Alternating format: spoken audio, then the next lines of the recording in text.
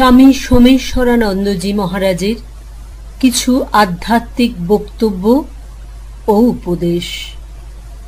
পাঠ করছি গোপা বাগচি।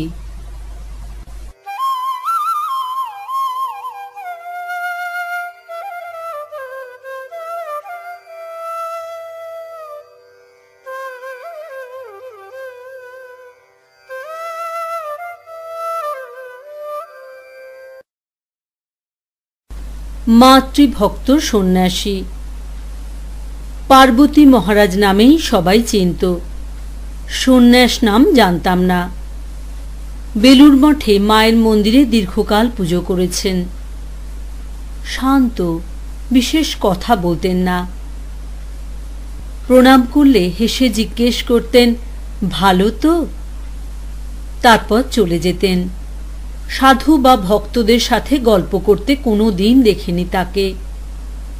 থাকতেন গিরিশ মেমোরিয়ালের, যার একতলায় প্রেসিডেন্ট মহারাজের ঘর, তিনতলা ছাদের ঘরে। মহারাজের সাথে আমার সম্পর্ক ঘনিষ্ঠ হয়ে উঠল এক ঘটনায়। স্নানযাত্রার দিনে বড় মন্দিরে ঠাকুরকেও স্নান করানো হয়। কয়েকজন ব্রহ্মচারী সেদিন ঠাকুরের মূর্তিকে গঙ্গা জল চন্দন, সাবান, সুগন্ধি, জল ইত্যাদি দিয়ে স্নান করায়। মন্দিরের দরজা জানলা বন্ধ থাকে সে সময়। আমার সৌভাগ্য হয়েছিল ওই কাজে। বিকেলে পার্বতী মহারাজকে এই কথা বলায় তিনি দাঁড়িয়ে কিছুক্ষণ তাকিয়ে রইলেন আমার দিকে। গম্ভীর মুখ। পরে মন্তব্য করলেন, খুব ভালো খুব ভালো। তারপর থেকে তিনি বিশেষ স্নেহ করতেন আমায়। কথা বলতেন। আগে আমি প্রণাম করলে হেসে সাড়া দিতেন, কিন্তু এই ঘটনার পর তিনি নিজে থেকেই ডাকতেন আমাকে। সাহস পেয়ে আমিও অনেক প্রশ্ন করতাম, জানতে চাইতাম তার অনুভূতির কথা, আধ্যাত্মিক জগতের রহস্য। মন খুলে উত্তর দিতেন। সেই মণিমাণিক্য আর লুকিয়ে না রেখে প্রকাশ করে দিলাম সবার জন্য। পার্বতী মহারাজের অমূল্য সেই সব কথা। প্রশ্ন আচ্ছা মহারাজ, রোজ রোজ পুজো করতে একঘেয়ে লাগে না? উত্তর, পুজো, আমি তো মায়ের কাছে বসে গল্প করি। মাকে সাজাই নিজের পছন্দ মতো। খাওয়াই। মায়ে পয়ে কত কথা হয়, কত হাসি, কত আনন্দ। প্রশ্ন। কি বলছেন মহারাজ? মা কথা বলেন আজও? উত্তর, মা তো সবার সাথেই কথা বলতে চান। তুমি শুনতে পাও না? প্রশ্ন, আপনি মাকে দেখতে পান? উত্তর, প্রায়ই, কিন্তু অনুভব করি রোজ। এসব কথা বলতে চাইনি তোমায়। জানি না তুমি বিশ্বাস করবে কি না প্রশ্ন, আমার মধ্যে ভক্তি খুব কম। আপনি কিছু বলে দিন, যাতে আমিও মাকে দেখতে পারি। উত্তর, ও যতই জপ ধ্যান করো, মায়ের কৃপা না হলে তাঁর দর্শন হয় না।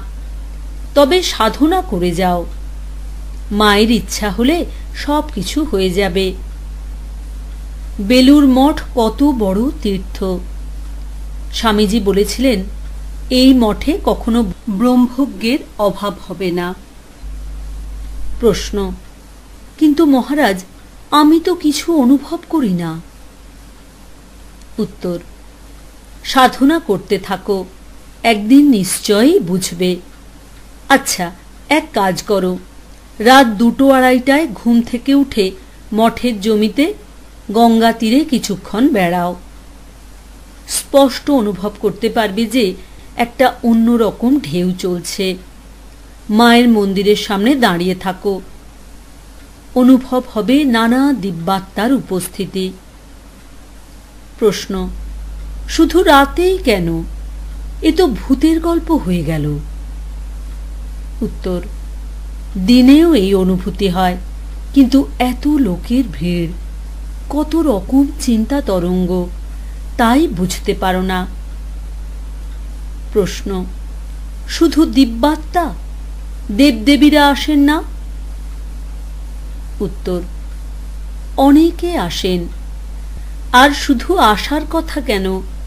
কত দেবতার উপস্থিতি এখানে সূক্ষ্মভাবে সব সময়?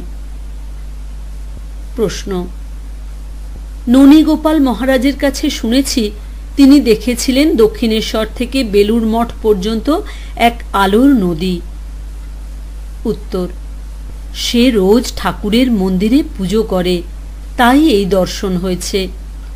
বহু সাধুরই নানা রকম দর্শন অনুভূতি হয়েছে। তবে এসব কথা তারা বলতে চান না। যারা সাধনা করে না, তাদের এসব বিশ্বাস হবে না। প্রশ্ন, মা কি আজও রয়েছেন? শুধু সাধুরা নন, অনেক গৃহী ভক্তও দর্শন করেছেন তাকে। উত্তর, দর্শন বা অনুভূতির পর মানুষের জীবন যদি পাল্টে যায়, সে আরও দিব্যগুণে ভরে ওঠে, চিত্তের রূপান্তর ঘটে, তবে জানবে সেই দর্শন সঠিক। অনেকে আবার মাথার ভ্রমে এসব দেখে। এজন্য বিচার করা দরকার। প্রশ্ন মাকে আজও দেখা যায়। তবে কি মায়ের মুক্তি হয়নি? উত্তর, মায়ের আবার মুক্তি কি? সর্বব্যাপক চৈতন্য তাঁর স্বরূপ। যেন বিশাল সাগর, মাঝে কোথাও বরফ জমেছে, ওই বরফ যেন অবতার। ঠাকুরের কথা মনে নেই? ভক্তি হিমে মহাসাগরের জলে বরফ দেখা দেয়। জ্ঞান সূর্য উঠলে সেই বরফ আবার জলে পরিণত হয়ে যায়। এ বড় গভীর রহস্য। বুঝলে অমিতাভ? সাধনা করো। জানতে পারবে মায়ের কৃপায়।